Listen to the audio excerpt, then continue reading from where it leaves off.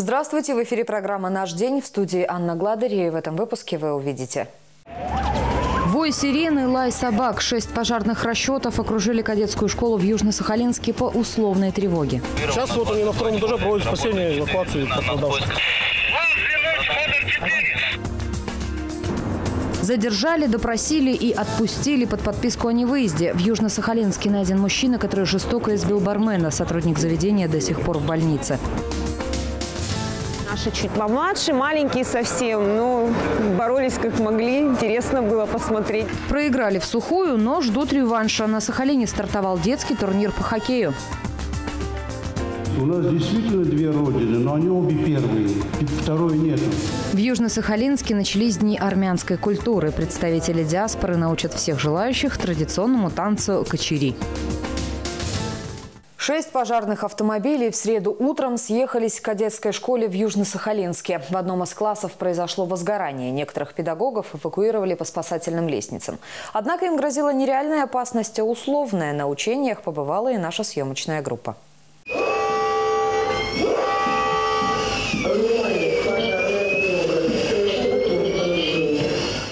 Громкий сигнал больше встревожил сторожевых собак в окрестных домах. Дети и педагоги не паникуют. Впрочем, это главное в условиях реальной опасности.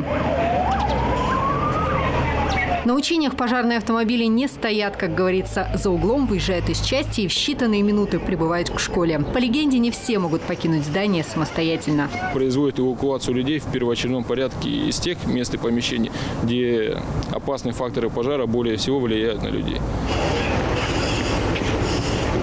В газодымозащитных костюмах спасатели проникают в школу. В холле на первом этаже обнаруживают ребенка. На него надевают кислородную маску. Сложнее обстановка выше. Коридоры и классы окутало облако дыма. Заблокированные в здании школы люди нашлись, улыбаются. Один из педагогов покорно надевает маску и покидает задымленное помещение под руку с пожарным. Но это не значит, что остальных спасать не будут. Их ждет другой, более остросюжетный эпизод.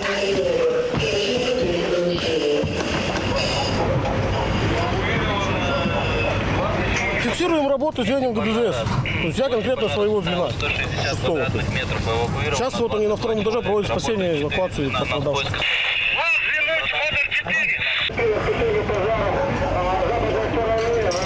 Поставили лестницу, зашли пожарные, одели нам кислородные маски и вывели через лестницу со второго этажа вниз. Всего из здания эвакуированы 23 человека. Спасатели сверяют списки, чтобы убедиться, что в школе никого не осталось. Вычисляют, как много потребуется воды для тушения пожара. Площадь пожара какая? 160 метров, 160. Требуемый расход. 5 стволов. 16 литров в секунду, но заливать школу для пущего эффекта, конечно, никто не стал. В условиях реальной опасности важно, чтобы все действия пожарных были скоординированными, четкими и быстрыми. Ведь от этого зависит исход спасательной операции. Эти учения, судя по улыбкам, для команды завершились успешно. Выращивание гребешка и пеший туризм. Визит второй бизнес-миссии на Курильские острова завершился. Японские бизнесмены и представители власти посетили три острова – Кунашир, Итуруп и Шикотан. И вместе с российскими компаниями определили для себя ряд приоритетных направлений в развитии Курил. На Шикотане хорошая погода. Гости из страны восходящего солнца успели до снега насладиться осенними пейзажами острова и запечатлеть их на фото. Не обошли вниманием и наследие, оставшееся от их соотечественников.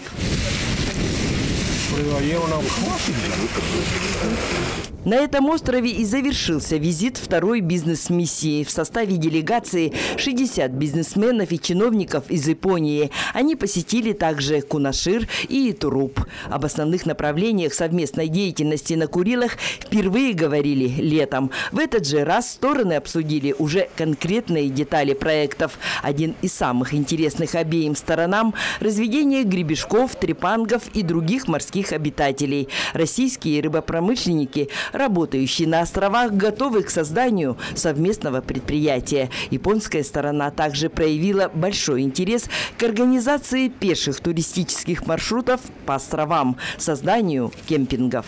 Многие японцы очень хотят побывать на Курильских островах в качестве туристов. И мы надеемся, что уже летом следующего года будет организован первый тур.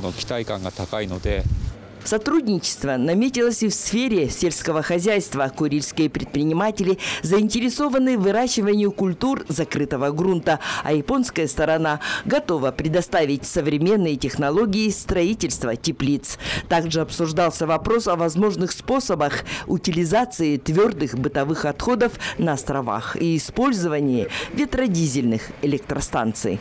На этот раз в состав японской делегации вошли многие представители бизнеса, которые будут действительно заниматься намеченными проектами. Мы смогли провести очень конструктивный обмен мнениями, услышали позитивные отзывы от островитян и сейчас готовы продвинуться к реализации технико-экономического обоснования наших проектов. Обе стороны нынешними результатами переговоров довольны. Становится понятно, японские и российские компании действительно готовы к реализации совместных проектов. В целом договорились о том, что сейчас по каждому направлению э, руководители рабочих групп, бизнесмены начнут э, вырабатывать единые позиции, единые подходы, готовить технико-экономическое обоснование целесообразности этих проектов. Э, в январе-феврале мы проведем еще очередную встречу, где уже будут контуры будущих проектов более четко обрисованы. Необходимо здесь и нормативно-правовую базу подготовить. Следующий год будет посвящен проектированию, а в 2019-м часть совместных начинаний будет реализована, подчеркнул глава региона. В Новоалександровске торжественно открыли новую детскую площадку. Она расположилась в сквере Молодежном. За ее строительство проголосовало большинство жителей планировочного района. Анкетирование проходило в рамках программы инициативного бюджетирования. Она предполагает выделение до 3 миллионов рублей на реализацию идей сахалинцев. Здесь было в феврале э, собрание, встречались с жителями этого микрорайона, планировочного района Новоалександровка. И, по сути, люди выбрали вот э, продолжение обустройства этого сквера. Сквер называется «Молодежный», такое хорошее название. И фактически вот мы видим, что для детей сделана площадка с современным покрытием, э, сделаны малые архитектурные формы. Порядка 2, 2 э, миллионов 200 тысяч эта площадка обошлась. Это, значит, 99% областного бюджета и 1% местного бюджета. Также участие в нефинансовой помощи со стороны инициативных групп граждан. Менее помпезно, но не менее важный объект открыли в Дальнем. Там по просьбам жителей возвели хоккейный корт. Детям нужно где-то заниматься. Город ездить далеко, соответственно, и затратно. Поэтому мы очень рады вообще, что здесь построили такое сооружение. Будем надеяться, что он будет служить долго и будем на нем все кататься. В этом году в программе участвовали Углегорский район и Южно-Сахалинск. А уже в следующем присоединятся все районы области. И финансирование увеличится до 150 миллионов. До 1 ноября муниципалитеты должны представить проекты, которые будут участвовать в областном конкурсе. На Сахалине начались дни армянской культуры. В нашем регионе проживает около трех тысяч представителей этой гордой национальности. Среди них немало известных людей. Армянская диаспора предлагает сахалинцам поближе познакомиться с их колоритными традициями. Организаторы подготовили богатую программу. Это концерты, мастер-классы по изготовлению домашних кукол и украшению новогодней ели, дегустация национальных блюд. На четверг запланирована церемония открытия памятной доски известному советскому политическому деятелю Анастасу Микояну дважды побывавшему на Сахалине. Завершит праздничную программу массовая акция. Все желающие смогут научиться танцу кочери, который, кстати, исполняли армянские солдаты у стен взятого советскими войсками Рейхстага. Станцевать его предлагают всем желающим на площади Победы в День народного единства 4 ноября. Меня всегда возмущает, когда наши армяне говорят, вот у нас две родины, первая родина Армении, вторая Россия, или наоборот, меня это всегда бесит. У нас действительно две родины, но они обе первые, второй нету. Samsung Galaxy S8 разыграют на ночи пожирателей рекламы. Приз для гостей самой светской вечеринки года предоставил партнер мероприятия – сеть фирменных магазинов Samsung в Южно-Сахалинске. Кроме того, зрителей ждет розыгрыш сертификата на 50 тысяч рублей на покупку шубы от мехового дома «Знатные меха». Помимо этого, на мероприятии сахалинцев ждут изысканные угощения, живая музыка и другие развлечения. Ночь пожирателей рекламы пройдет 3 ноября в Чехов-центре. Билеты можно приобрести в кассах театра – и на сайте СТВ.ру. Торопитесь, в продаже на сайте осталось меньше 100 билетов. Автомобили экс-губернатора Островного региона могут купить все желающие. Управление Росимущества в Москве выставило «Мерседес» и «Лексус» Александра Хорошавина на торги. Доходы от продажи автомобилей, которые идут с молотка, пополнят государственную казну. Принять участие в аукционе может каждый, необходимо лишь подать заявку. А наш эфир продолжит точка отсчета.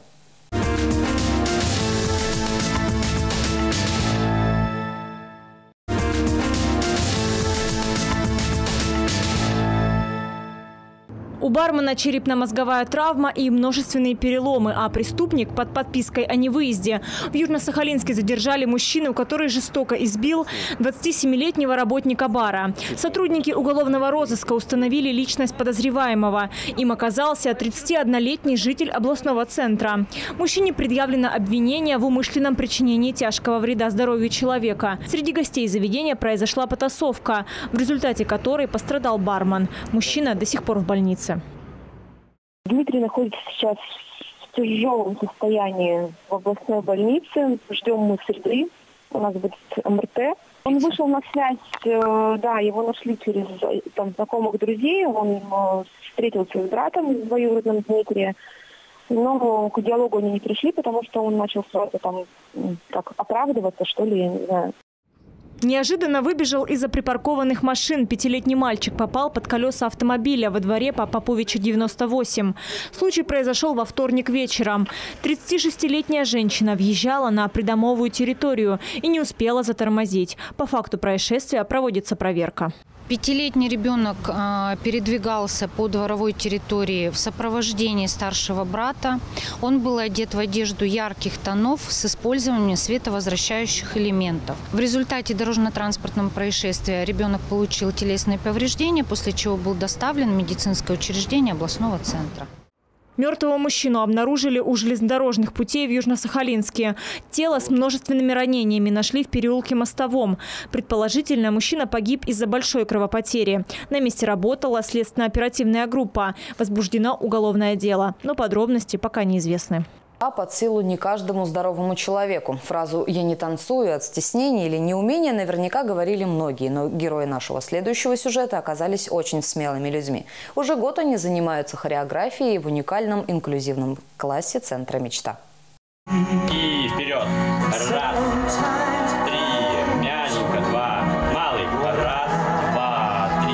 Шаг вперед, в сторону и назад. Вроде все просто, но если знать, что у каждого из этих десяти танцоров серьезный диагноз и всего год регулярных занятий, захочется поаплодировать еще до первого выхода этого удивительного коллектива на сцену. Инклюзивный танцевальный класс в хореографическом центре «Мечта» появился 1 октября 2016 года. С особенными танцорами все это время занимается балетмейстер Александр Володин. Для каждого нагрузка подбирается индивидуально, с учетом заболевания и физического физических возможностей. Александр очень мотивирует своих учеников. Он и сам перенес несколько серьезных болезней. Это пример для подражания для остальных людей, которые дома сидят, ничего не делают, да, либо боятся, страх больше играет. А выбрал, потому что ну, захотелось помочь. Ритм танца и плавность движений подчеркивают в начинающих танцорах новые грани характера и физических возможностей. И в общении с другими людьми не так резко, может быть, как бы стараюсь помягче все это разговаривать и как-то какие-то движения делать мягче. Занятия танцами делают для инвалидов доступными новые стороны жизни. Можно построить сколько угодно пандусов и оснастить спецлифтами все здания. Но живого общения людям они не заменят. Они встречаются уже не только здесь, они вместе проводят какие-то праздники, то есть они нашли какие-то точки э, соприкосновения, точки коммуникации. И для нас это очень э, ценно и радостно. Инклюзивный танцевальный класс мечты не собирается ограничиваться закрытыми тренировками. Его ученики очень тщательно готовятся к выходу на сцену.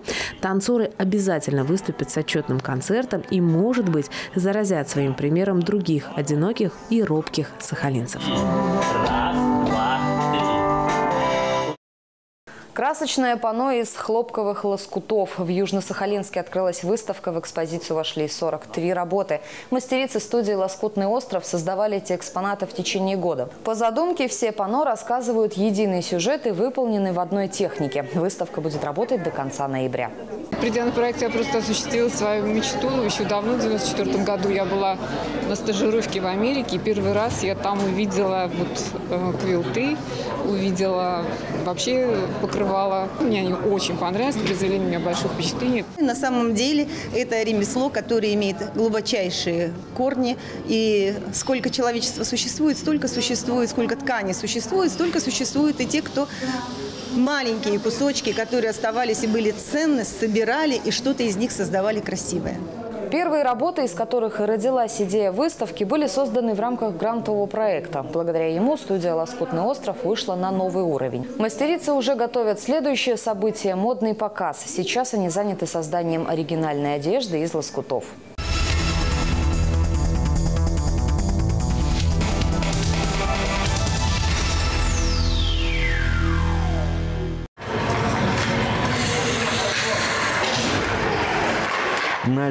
Самые маленькие, но обманываться не стоит. Ребята шустрые и ловкие. Это дебютная игра на ледовом поле в рамках Кубка Арена Сити. В первом матче южно-сахалинцы из команды Арена Мастер-2009 встречают гостей владивостокских мальчишек из клуба «Адмирал». Так вышло, что приморцы оказались на год старше. Разница в возрасте была видна практически с первого вброса шайбы.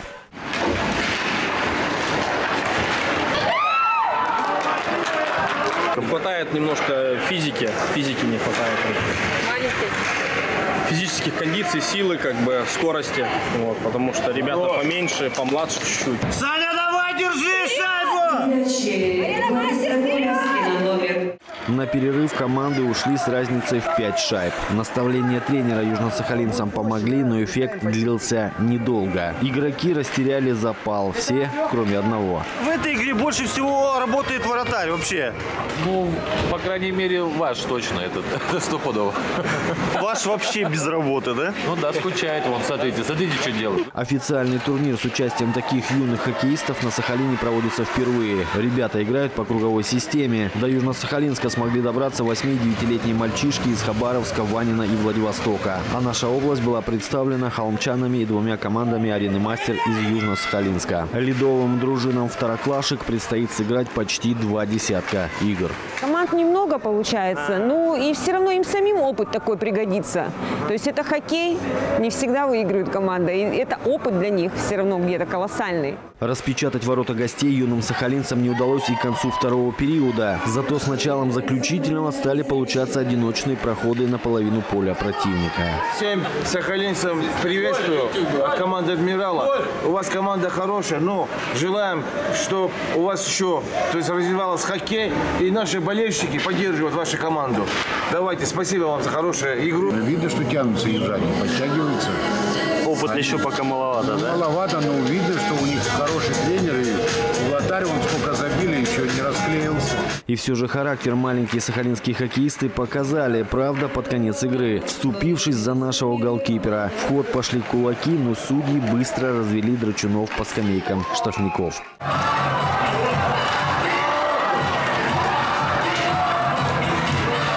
Итоговый счет этой встречи далеко не в нашу пользу. 0-11. Впереди у самой юной островной команды еще четыре встречи с гостями с материка, с холмчанами и с одноклубниками годом старше.